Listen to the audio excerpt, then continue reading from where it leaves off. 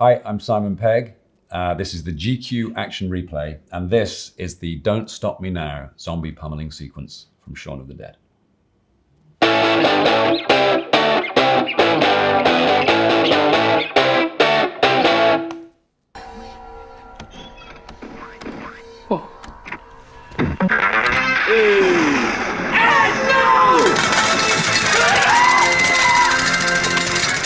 Edgar Wright actually uses a lot of the uh, actual sound from the fruit machine within the movie to sort of um, communicate foreboding and what have you. It's very clever. I think it's called diegetic sound. I think when you use actual elements from the scene as scoring, um, he's very good at that. Watch his films.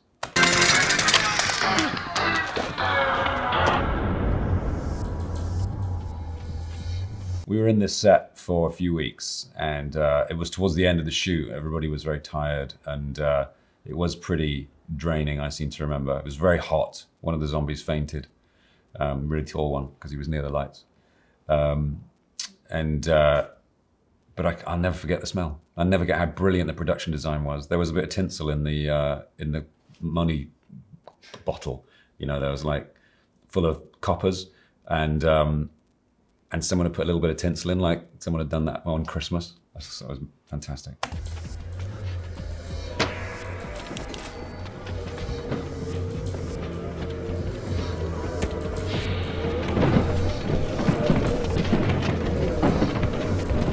God love those extras for just standing outside and basically being silhouettes and moaning.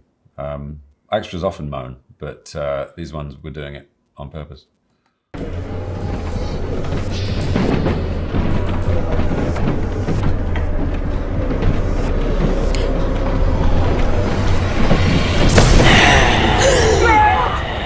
That's Steve. He was a stuntman. He was in Brannigan, the uh, John Wayne movie that was set in the UK. It's a bit of a curio, uh, but he was. There's a big pub fight in Brannigan, and Steve's in it. So that was a particular badge of honor for me and Edgar to have someone who'd been punched in the face by John Wayne. Where the hell did he come from? I don't know. Tonight, I'm gonna have myself. Long time before everyone was going crazy for Freddy again. Um, this was Edgar's idea, and he wanted to just have a scene of extraordinary violence set to an incredibly happy song. And he's a huge Queen fan, as am I, but Edgar's a particularly huge Queen fan. And uh, Don't Stop Me Now is just this relentlessly positive, sort of um, propulsive um, ode to positivity. And um, we just thought it'd be hilariously funny to beat an old man to death to it.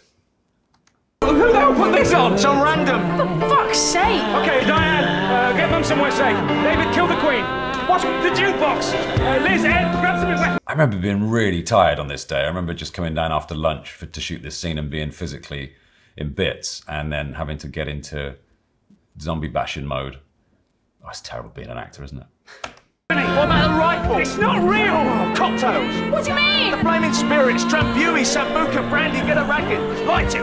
What, the whole place could go up! What then? How about pool? This is a, quite an early sort of uh, progenitor to Baby Driver, if you think about it, because it's Edgar basically using music that the characters are listening to to score the film, and also we actually move kind of in time with the music. It's sort of, sort of like a dance, really, and we we choreographed it in rehearsal. We we, we, we sort of got into a room and we, we got all these moves together where if you watch Lucy and, and Penelope are actually dancing to the song as they're watching us smashing Steve across the head. Um, but yeah, it, it's, you can see Baby Driver as the culmination of ideas that Edgar Wright had been having for many years.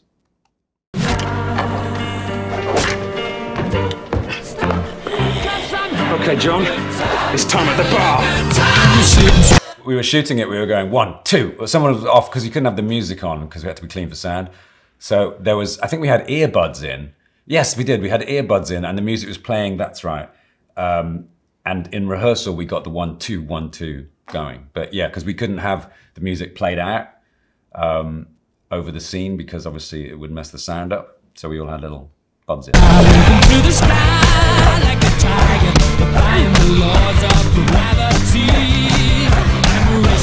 Bless him. He was 70. And we were just absolutely hammering him with, I mean, they're fake. Sure, they're not like wooden, but they were pretty I mean, they were hard enough to hit him with.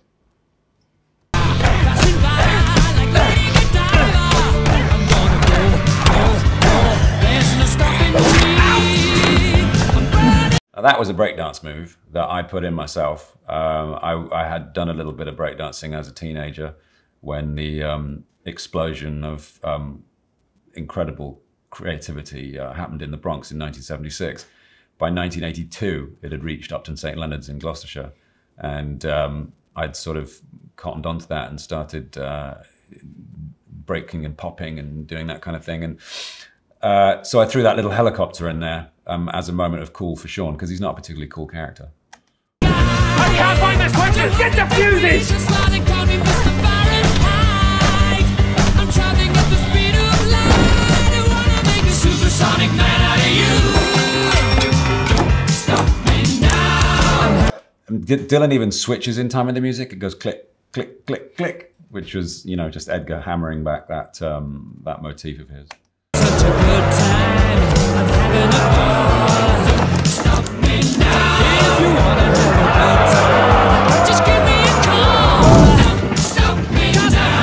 Those zombies at the front were amazing. A lot of them were fans of Spaced that had, we just asked to come down. We literally paid them a pound because we had to pay them.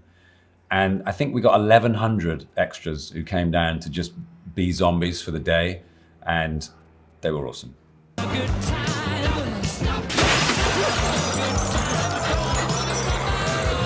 Paul Kaye and my sister uh, bashing through that door in, in a bizarre little cameo.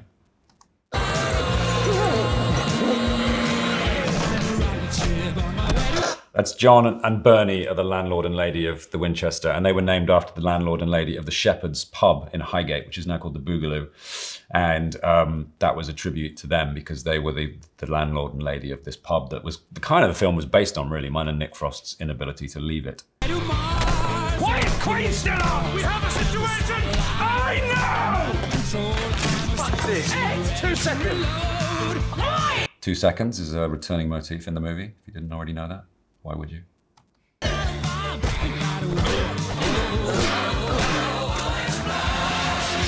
That was a real fire extinguisher. It wasn't right. Burning through the sky. 200 degrees, that's why they call me Mr. Fahrenheit. I'm traveling at the speed of light. Yes! Yes! In the head! I love Lucy Davis's face there. It just, I love Lucy Davis's face anyway, but she makes such a great little expression of enthusiasm when the first uh, dart hits the zombie. I can't remember how we did those. I think we did whip pans and they were sort of already already there. Definitely for the one in my head.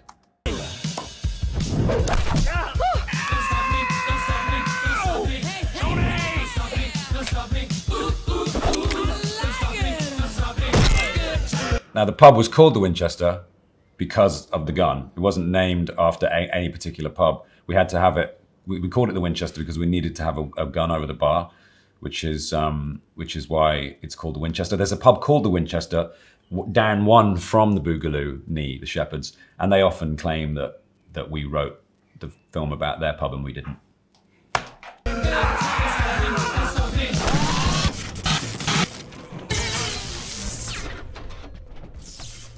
And that was the last time we ever saw Steve the Stuntman.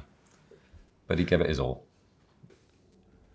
Thanks for watching. That was the Don't Stop Me Now sequence from Shaun of the Dead.